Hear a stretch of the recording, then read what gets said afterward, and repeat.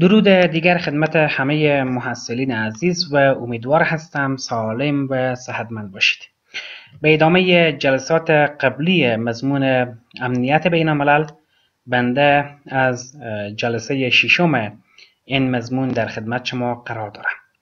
در جلسه امروزی یا عنوان کلی جلسه امروزی من شما لیبرالیزم کلاسیک در امنیت بین الملل و شاخصه های آن می باشد امیدوار هستم در این دقایقی که بنده در خدمت شما قرار دارم بتوانم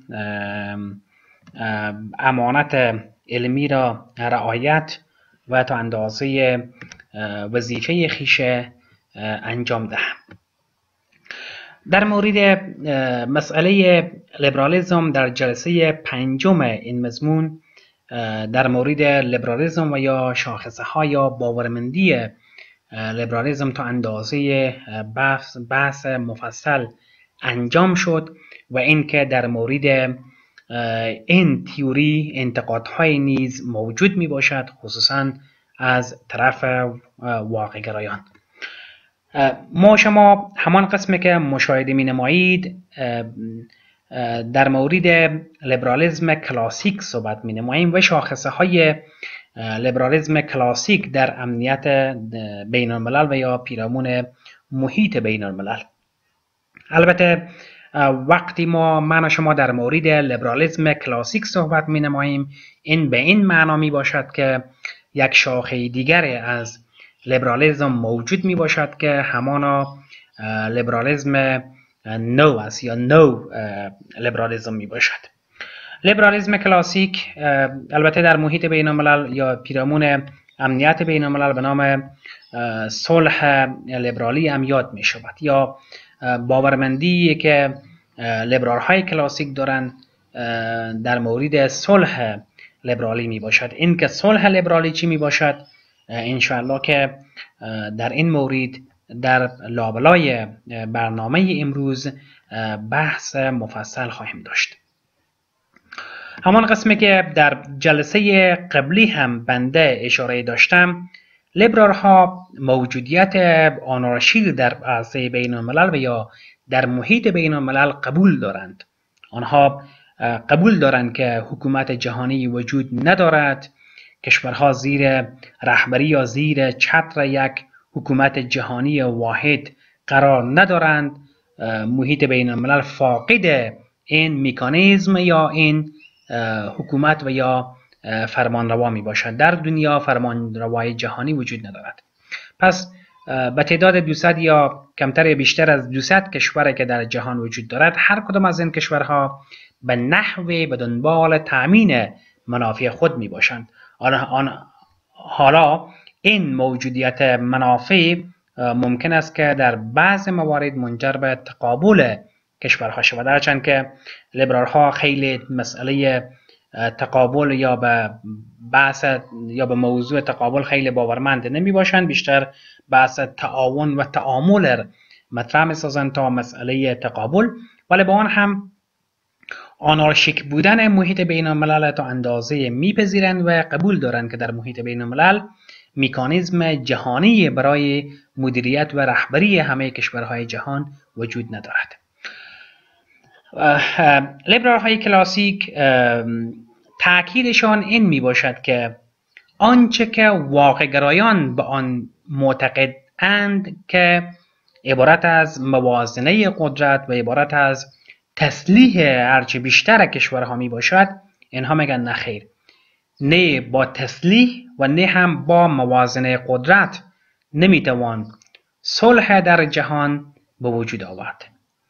با تاکید لیبرال ها این می باشد که اگر می خواهیم در محیط بین الملل و در عرصه بین الملل و در جامعه بین الملل صلح به وجود بیاید تعاون و همکاری به وجود بیاید همزیستی مسالمت آمیز به وجود بیاید ما باید به دنبال گسترش حکومت های دموکراتیک در جهان باشیم.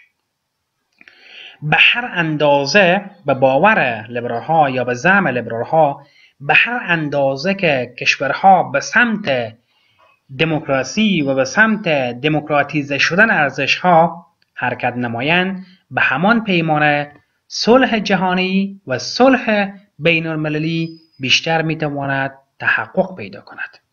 پس بنابراین همین صلح از دید لیبرال ها به نام صلح لیبرالی یاد می شود پس لیبرال ها میگن ما نمی‌توانیم با استفاده از سلاح با استفاده از تسلیح کشورها یا با رفتن به سمت موازنه قدرت صلح بین المللی یا صلح جهانی در دنیا و یا در جهان به وجود بیاوریم.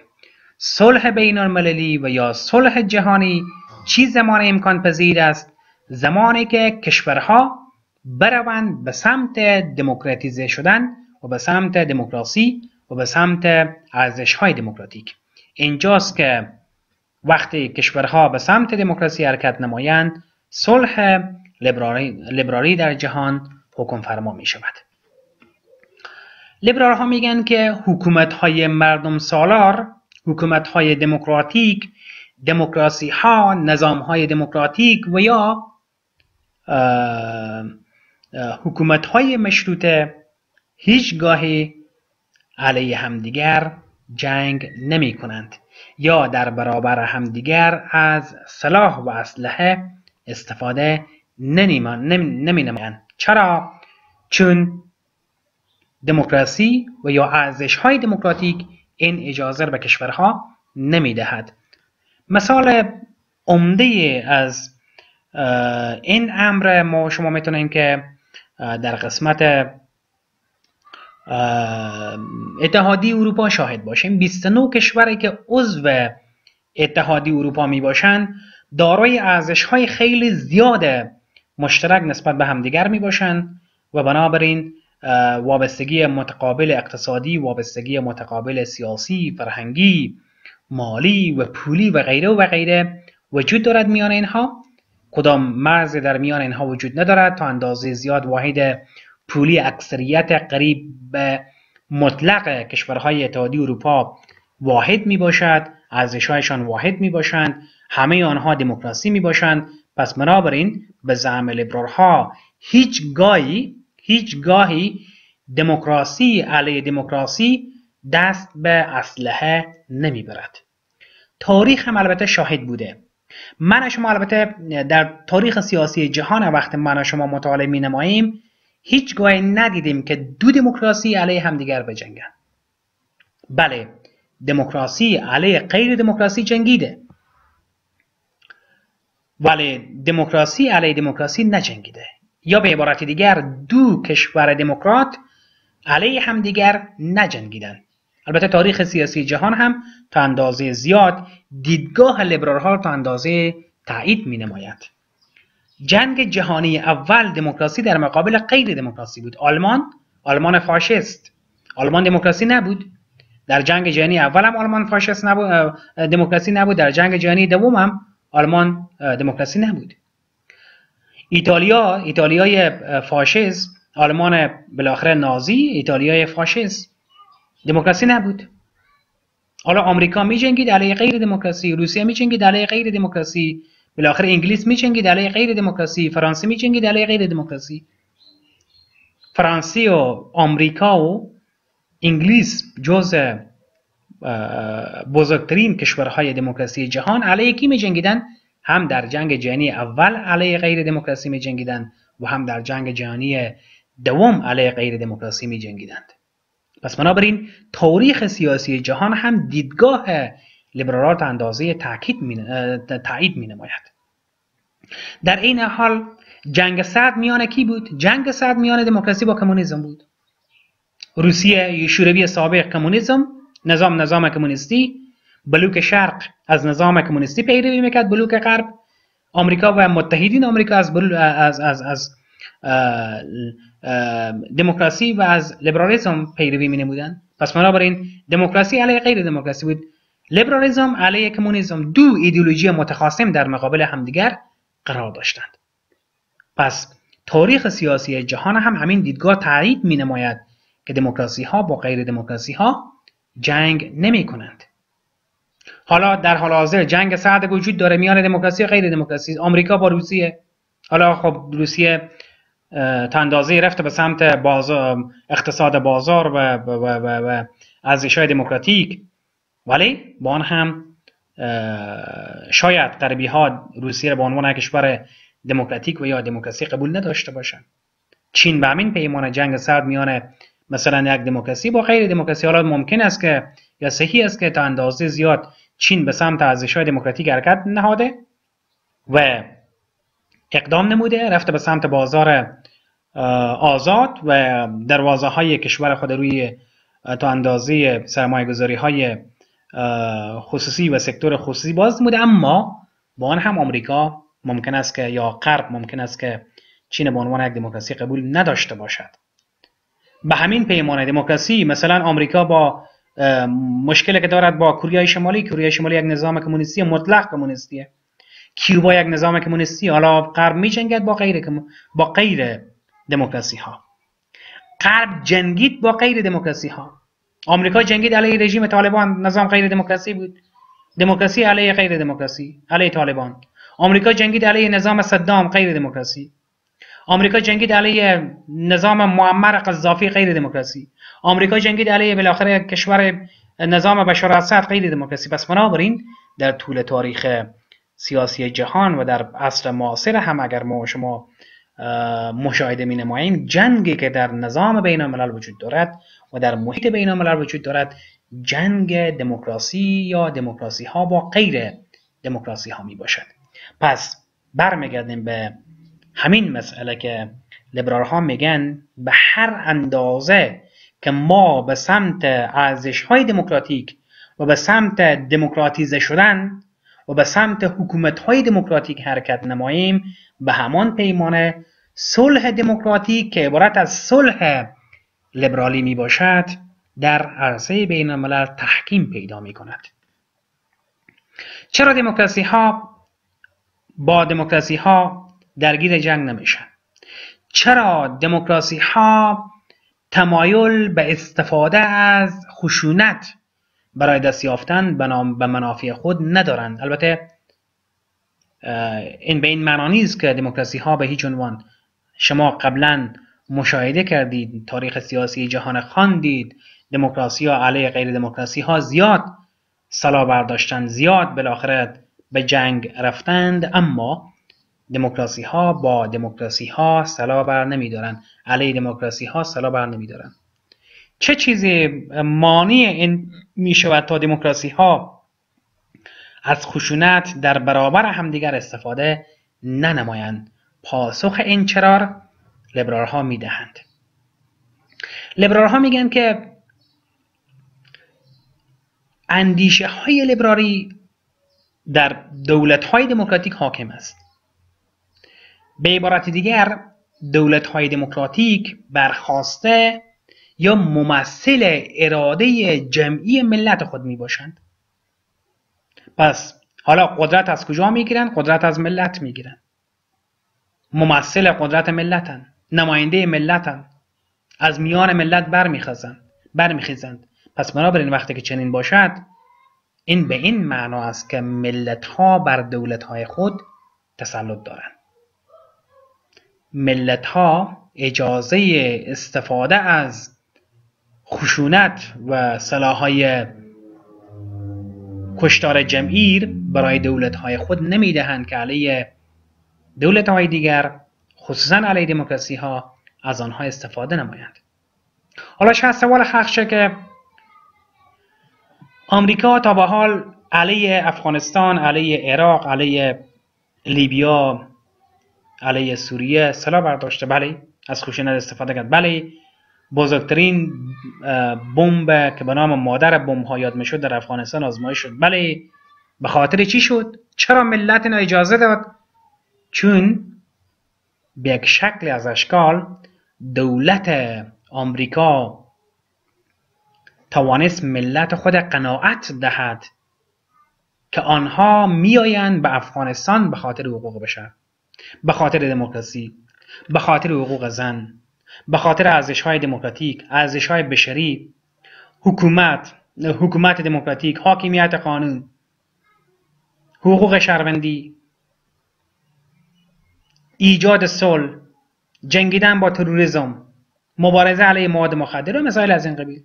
ملت خود گپ دادن.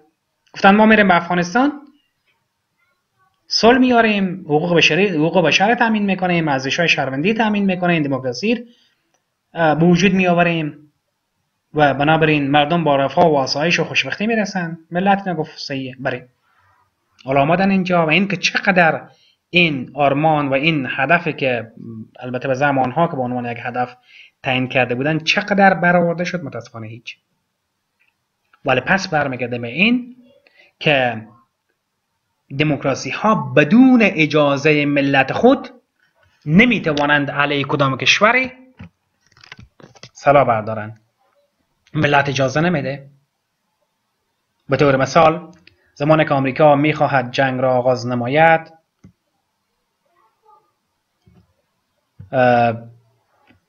قدرت رئیس جمهور آمریکا محدود است. ملت یا نظارت داره؟ حالا وقتی ملت میگیم هدف از نمای ملت یا به صورت مستقیم یا نمایندگان ملت. احزاب سیاسی وجود دارند جامعه مدنی وجود دارد رسانه های آزاد وجود دارد قوه قضایی مستقل بسیار قوی وجود دارد پارلمان وجود دارد کنگره آمریکا. باید رئیس جمهور آمریکا اجازه بگیرد از کنگره آمریکا برای آغاز یک جنگ. کنگره کیایند نمایندگان مردم. نمایندگان مردم و نمایندگی از مردم یعنی ملت. کنگره یعنی ملت. پس بنابراین این به این معنا نیست که ابرقدرت جهان بدون اجازه کنگره بدون اجازه ملت خود هر کاری که می‌خواهد انجام دهد. پس یکی از دلایلی که دموکراسی ها علیه دموکراسی ها دست به اسلحه نمی‌برند نظارت و کنترل کنترل می باشد که ملت بر دولت یا بر حکومت دارد و قدرت دولت ها کوچک می باشد قدرت دولت ها محدود می باشد و دولت ها زیر بالاخره کنترل و زیر فشار ابزار مختلف مانند رسانه ها مانند جامعه مدنی مانند اپوزیسیون مانند احزاب سیاسی و و به صورت اخص و به صورت کل زیر نظارت و کنترل ملت خود می باشند و ملت آنها اجازه این را نمی دهد که یک حکومت دموکراتیک علیه حکومت دموکراتیک دیگر اقدام به جنگ نماید. این یک دلیل. پس چرا دموکراسی علیه دموکراسی ها جنگ نمی کنن یک دلیل این می باشد که ملت های دموکراسی بالای دولت های خود کنترل دارند نظارت دارند و دولت ها در حقیقت نماینده ملت می باشند و دولت های اجازه این را ندارند تا اینکه بالاخره از خشونت علیه همدیگر کار کار بگیرند.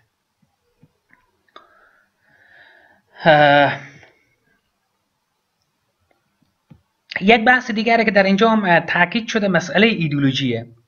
ایدولوژی کشورهای دموکراسی همه تقریبا میشه گفت مشابه یک ایدولوژی لیبرالیزم. و استفاده از ارزش های بازار و یا بالاخره کپیتالیزم یا نظام اقتصاد بازار. و بنابراین این ایدئولوژی واحد این کشورها زیر یک پرچم واحد تقریبا قرار داده است و به این خاطر صلح آنچنانی می‌تواند در میان این کشورها تامین شود.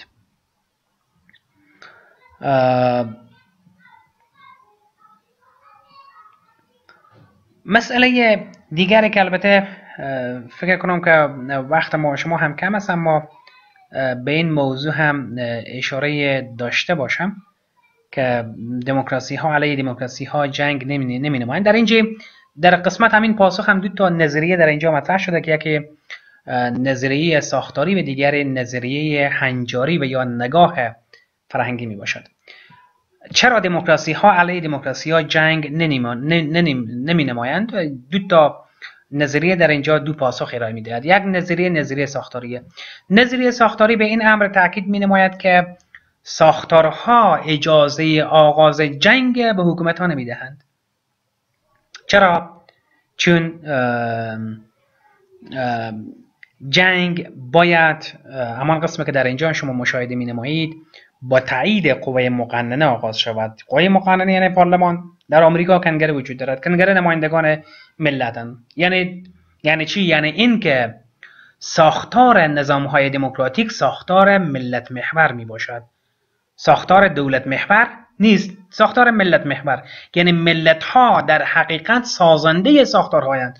ساختارها نماینده ملت خود می باشند و ملت ها هم قدرت حکومت خود در کنترل دارند محدود می‌کنند نظارت می‌کنند و اجازه جنگ به دولت خود علیه دولت های دیگر نمی‌دهند به سادگی. مگر اینکه دولت آنها آنها را فریب دهد.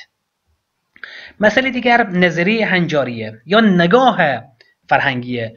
چرا دموکراسی ها علیه دموکراسی ها جنگ نمی نمایند به خاطر اینکه دموکراسی ها دارای فرهنگ مشترک می باشند دارای ارزش های فرهنگی مشترک می باشند دارای ارزش های دموکراتیک مشترک می باشند دارای هنجارهای مشترک می باشند پس بنابراین هنجارها فرهنگ مشترک ارزش های مشترک و منجر به جلوگیری دموکراسی ها برای رفتن به جنگ می شود یعنی دموکراسی ها اجازه رفتن به سمت جنگ نمی دهد یک بس این است.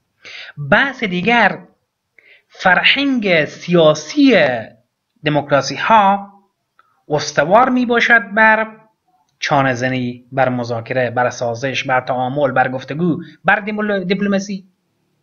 آنها علاقمندی به دموکراسی دارند به مذاکره دارند به گفتگو دارند سازش دارند تعامل دارند. چانه زنی دارند. یعنی اگر یک وقت در میان دموکراسی ها کدام مشکل ایجاد می شود تنش ایجاد می شود دموکراسی ها با, با, با در نظر داشته داشتن فرهنگ سیاسی دموکراتیک بالا کوشش می نمایند تا از طریق دیپلماسی و ابزارهای دیپلماتیک به تنش خود یا به مشکل خود رسیدگی نمایند. پس بنابراین دموکراسی ها با غیر دموکراسی ها نتیجه می گیریم که به این خاطر جنگ نمی نمایند چون ساختارها اجازه جنگ نمی دهد قدرت دولت ها محدود می باشد و دولت ها از طرف ملت ها کنترل می شوند پاسخ دومی چون دموکراسی ها دارای ارزش های هنجاری، ارزش های فرهنگی، ارزش های دموکراتیک و در قسمت این ارزش ها دارای نقاط مشترک می باشند و در عین حال دموکراسی ها با دموکراسی ها جنگ نمی نمایند به خاطر اینکه دموکراسی ها دارای فرهنگ بالای سیاسی و دموکراتیک می باشند و فرهنگ سیاسی آنها هم بیشتر تاکید به چانهزنی، مذاکره، دیپلماسی، سازش، تعامل و همکاری متقابل می نماید و آخرین بحث البته در این قسمت و انشاءالله که بحث به پایان میرسونم و در این قسمت آخرم اگر شما توجه کنید به مسئله گسترش دموکراسی همبستگی اقتصاد جهانی و سازمان بین المللی سبب سال پایدار میگردد. باورمندی لیبرال ها این می باشد که هر قدر که دموکراسی ها در سطح جهان گسترش پیدا نمایند و هر قدر که همبستگی اقتصادی در سطح دنیا به وجود بیاید و هر قدر که وابستگی اقتصادی در میان کشورها به وجود بیاید و هر قدر که سازمان های بین المللی در عرصه بین الملل و در محیط بین الملل بیشتر به وجود بیایند به همان پیمان عرصه بین الملل و محیط بین الملل تبدیل می شود به محیط بسیار پیچیده که آن را تشبیه می نمایند به لانه انکبود پس وقت محیط بین الملل تبدیل به لانه انکبود شد پیچیده شد وابستگی متقابل در میان کشورها از بود اقتصادی از بود سیاسی از بود اجتماعی از بود فرهنگی بسیار بالا گرفت. این منجر به صلح پایدار در محیط بین الملل و در عرصه بین الملل می شود با امید اینکه درس مورد توجه شما قرار گرفته باشد و اگر سوالی بود به شماره تلگرام بنده سوال خود ارسال نمایید تا برنامه دیگر و تا جلسه درسی دیگر در امان خدای بزرگ باشید.